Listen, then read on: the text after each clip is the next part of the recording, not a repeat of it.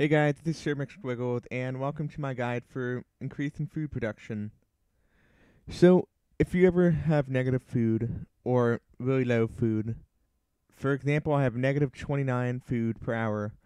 So, if you're ever in a case that you just need more food, here are some quick ways to increase your food production. So, firstly, you want to make sure that all your barracks are turned off or whatever ones that you're not using. So you can go to the province list and you can check which whatever barracks on. So this is the barracks. Now I just happen for I just happen to build barracks in every province of mine. So you can go over and start disabling some.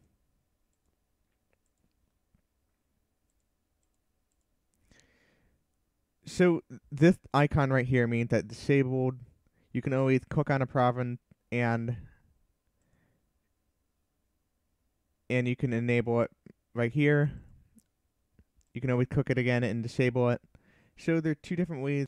This is usually the easiest way to turn off barracks. Now, that had just bought my production up. So now it's not in the negatives anymore. I can go back to province list and I can organize my provinces by resource. So I then want to click on my food provinces so I can just hold control and left click to select multiple provinces. So now I have all my food provinces selected. So I can go to construction and I can build a workshop. So a workshop has a resource production bonus.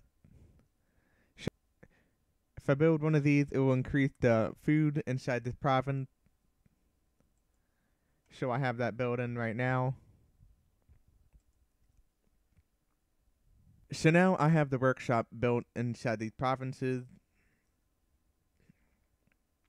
It just increased my production. So now on day 5, you'll have age level 2 unlocked. And then you can research workshop level 2. So when you build workshop level 2, that will also further your production.